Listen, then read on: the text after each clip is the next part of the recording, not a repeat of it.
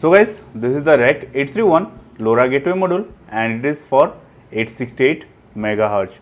And this comes with uh, this GPIO header uh, that can be uh, like used to connect with any SBC like Raspberry Pi or any other to make a gateway. So actually this doesn't fit on top of Raspberry Pi because the GPIO header are not compatible. So we need one adapter plate for this and this has got like, like Raspberry Pi compatible GPIO header as well as it on the other side has got the 831 module compatible GPIO header and along with that it has also got one GPS module which will provide timing information to the gateway. And again over here the 831 module comes with these LEDs over here which are used to show status and all. So here I am just going to connect it to a Raspberry Pi 2 module but if you are having like Raspberry Pi 0 or any other board you can connect it without any issue. Again it uh, the Raspberry Pi whatever you are going to use must have one networking interface because you are going to push data out of the gateway module straight to the internet. So make sure you have internet connection to your Raspberry Pi whichever version you are using. It might be like you can go for wireless or wired no issue with that. So I am just going to connect everything and we'll get into system and we'll like download the OS required for it and we'll set it up further.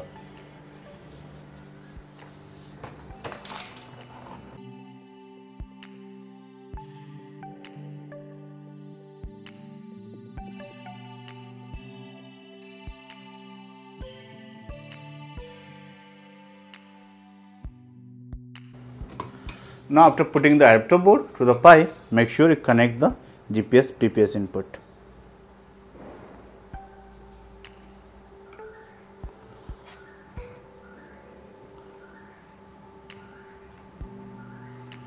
Okay, before that I need to put the spaces.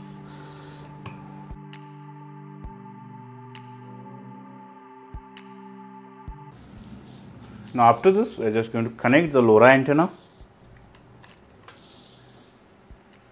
So, after this we just need to connect the GPS antenna. Over here make sure you connect the LoRa antenna before powering up the Raspberry Pi.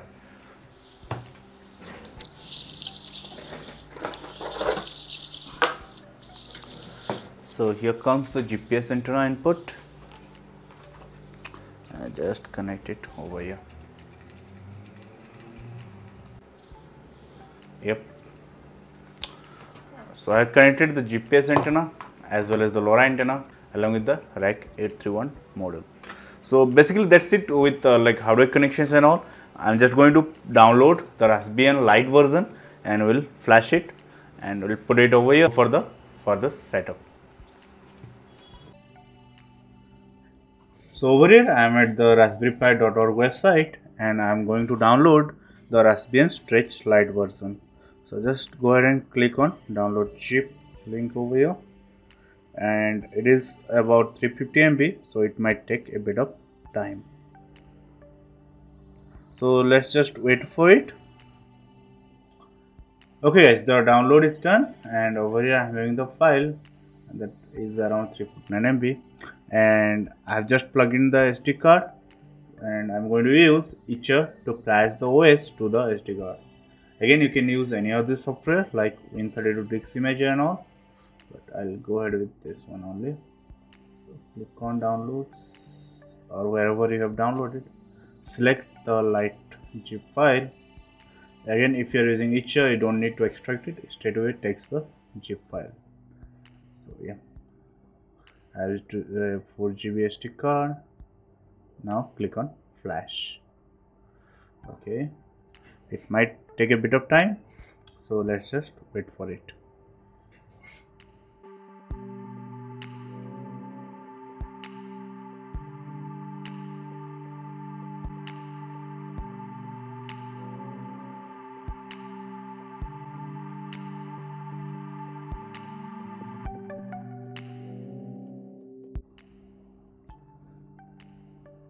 okay now the flashing is done. Just close it. Okay. Okay so I'm just going to plug in the SD card. Uh, right over here. And plug in the ethernet cable so that I'll be accessing it by using SSH from my local network. Just let's power it up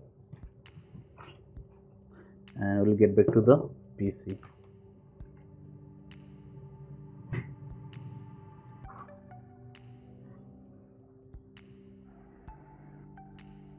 now after the Pi has been turned on I'm going to find out the IP that has been taken by the Raspberry Pi. And for that I'm using one IP scanner software but you can do it with your router or you can use nmap or something like that. So i'll just quickly get the ip address taken by my pi. Then we will be using that ip address to have ssh connection to the pi. Over here you can see it has found a new raspberry pi. That is having 109 because 1.4 is already actually i'm using. And you can simply find out by either checking out the manufacturer name or you can simply find out by looking at the MAC address. Raspberry Pi usually starts with B827EB. So let's go ahead and note down the IP address and I'm going to make SSH to it.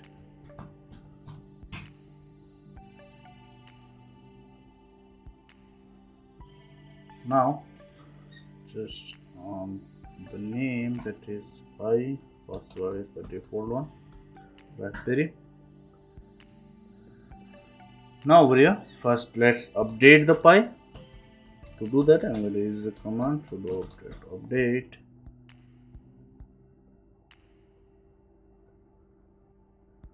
Okay it is trying fail.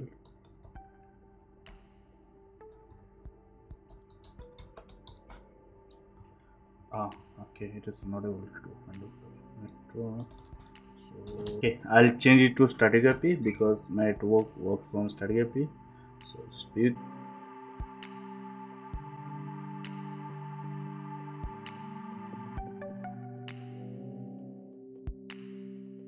along with that i'm just going into raspi config to enable the spi communication.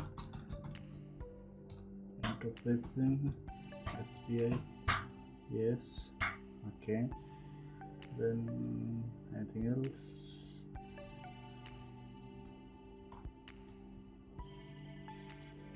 Location I'll change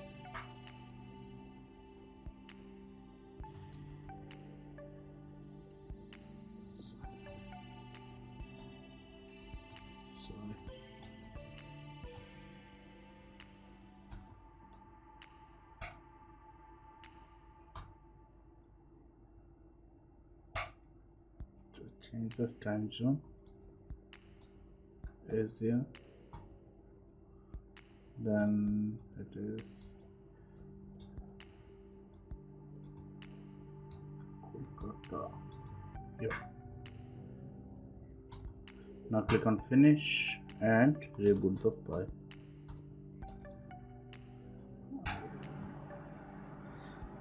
okay guys i changed my network setting and we are up. So let's do an update.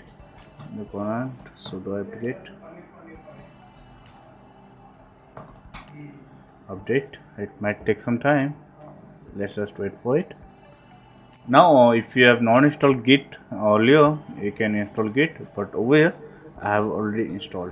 So git will be required to clone the repository that will hold all the that holds all the driver and all required for the gateway and it is by TTN Zurich and the repository name is IC880A gateway and I have given the link down below in the description. So just go ahead and copy the repository URL and over here I'm just going to use the command git clone that is branch and we're going to clone the SPI branch. So make sure use this because this module we are using is having SPI interface. Actually the main repository is for USB based concentrators so I'll just do this and copy the link.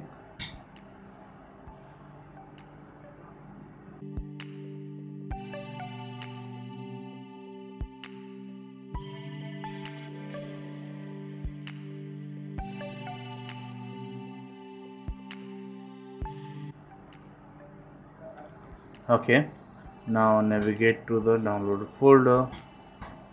Yeah.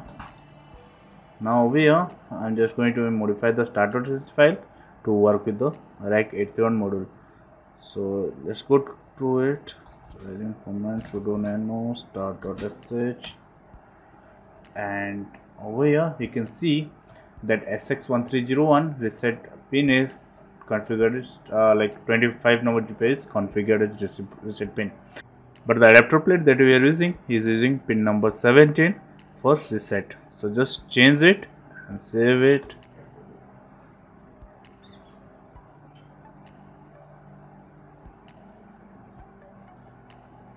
Now we can go ahead, with the command sudo install.sh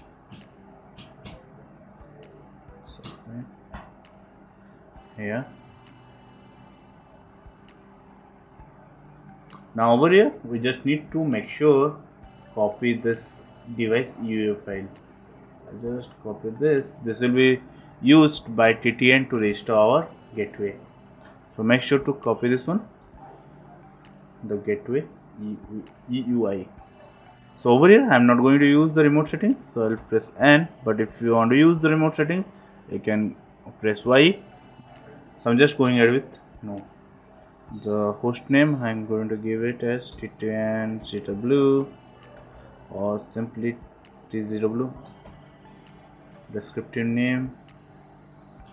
Uh, okay. so sorry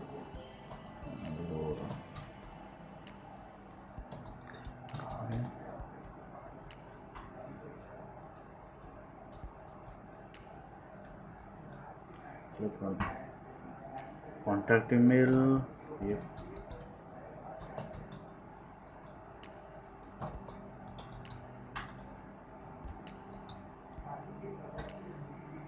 Latitude just copy the latitude of my location then longitude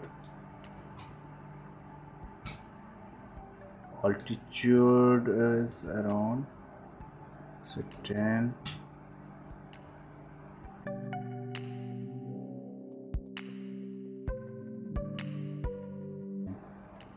the meantime let's open up the things network and we'll try to register our gateway there.